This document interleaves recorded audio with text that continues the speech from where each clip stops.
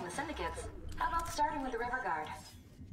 Just say you want to play with their katanas. I want a sword, old man.